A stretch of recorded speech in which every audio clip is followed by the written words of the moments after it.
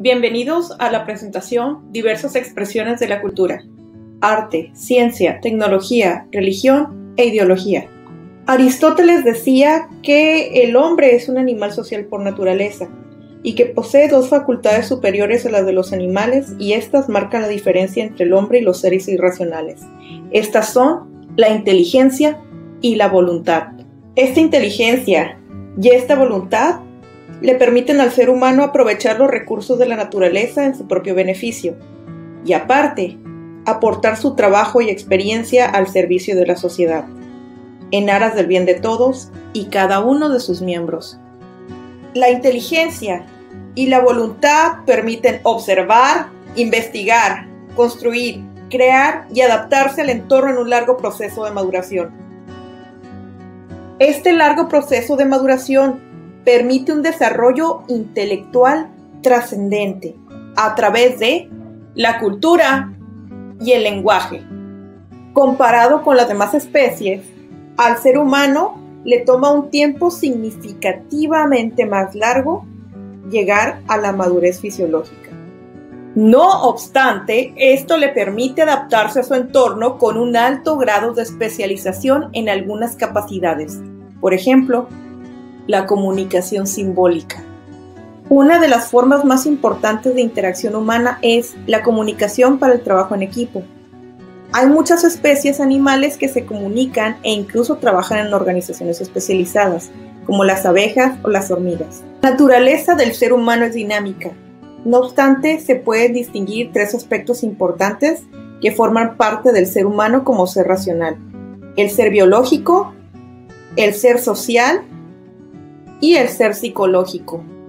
Esta naturaleza dinámica hace que el ser humano tenga una socialización integral mediante la cual se inculca y transmite de generación en generación la cultura a los miembros de la sociedad.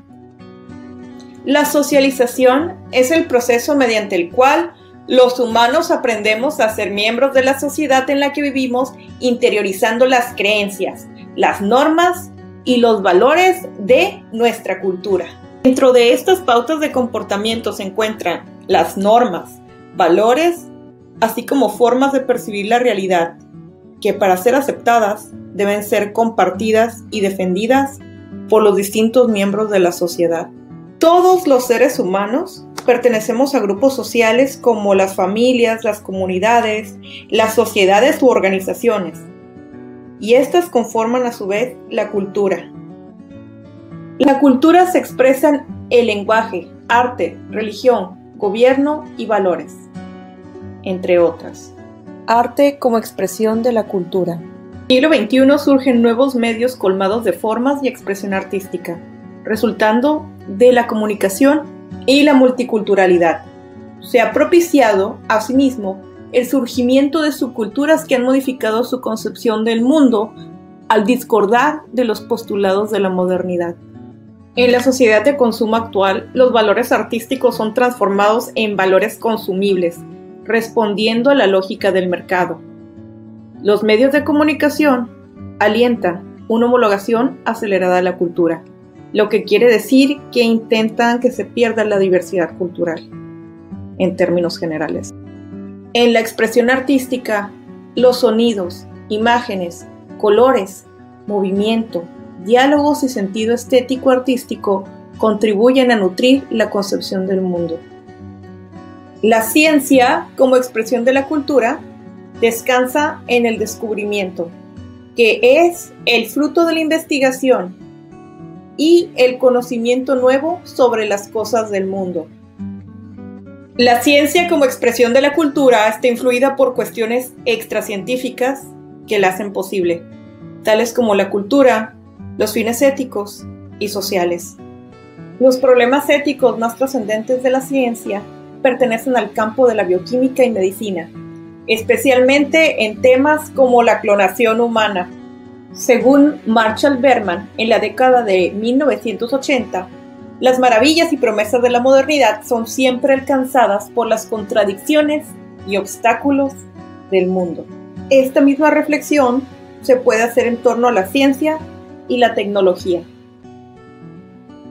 La tecnología como expresión de la cultura reside en la innovación, que es cuando se diseña una forma de aplicar el descubrimiento para hacer una tarea más ventajosa. Pero no todo lo que es técnicamente posible es moralmente admisible.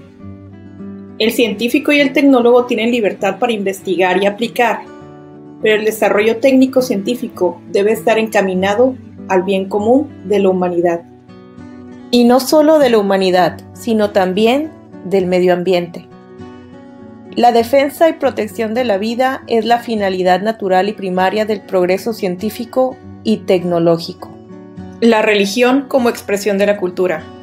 Es la expresión de los agentes culturales de una deidad que refleja, de forma idílica, las características inherentes de los seres humanos y en la que se polariza la acción social por medio de un constructo simbólico, en el que Dios aparece como perfecto e ilimitado, mientras que en el otro polo se encuentran las personas como seres falibles y limitadas. La religión como fenómeno cultural ayuda a construir la personalidad en la infancia y asegurar la cohesión social a través de la configuración de un etos colectivo. De la religión depende el accionar moral, el pensamiento de los agentes culturales y la cosmovisión. Todos estos elementos dotan de identidad a los grupos sociales. La ideología como expresión de la cultura. El objetivo de la ideología es legitimar un status quo determinado, controlando un sector de la población e impidiendo y frenando su avance. Según un enfoque marxista, la ideología es la falsa conciencia que legitima instituciones sociales, atribuyéndoles funciones ideales diversas de las que realmente ejercen. El alcance de una ideología se hace sentir en todos los niveles de la sociedad, al grado de generar una falsa percepción de la realidad en sus integrantes. Las conclusiones son que el ser humano es un ser social, que los grupos sociales por medio de la socialización integral inculcan y transmiten la cultura a los miembros de la sociedad, y que la cultura tiene diversas expresiones como el arte, la ciencia, la tecnología, la religión y la ideología. En cuanto a mis conclusiones personales, en lo referente a las expresiones de la cultura, eh, me recargo un poquito en lo que viene siendo los términos de la evolución cultural dentro del libro The Selfish Gene o El gen egoísta, escrito por Richard Dawkins en 1976, en el que se dice que la cultura se replica en unidades de información llamadas memes, que son muy semejantes a los genes. Estos memes se multiplican y propagan en la cultura ambiental. Y los obtenemos en la convivencia con nuestros padres, nuestros iguales, y la sociedad. Todas nuestras diversas expresiones culturales son el resultado de estas percepciones en las que replicamos dicha información contenida en los denominados memes. Nosotros al crear un producto cultural, eh, ya sea en nuestra ciencia, ya sea en la tecnología, ya sea en nuestra religión o nuestra identidad, estamos ayudando a que esas ideas se sigan multiplicando. Me despido con la siguiente cita de Humberto Eco. Desde el momento en que existe sociedad, todas las funciones se transforman automáticamente en signos de esa función. Eso es posible porque existe cultura. Pero existe cultura solo porque eso es posible. Muchas gracias por su atención.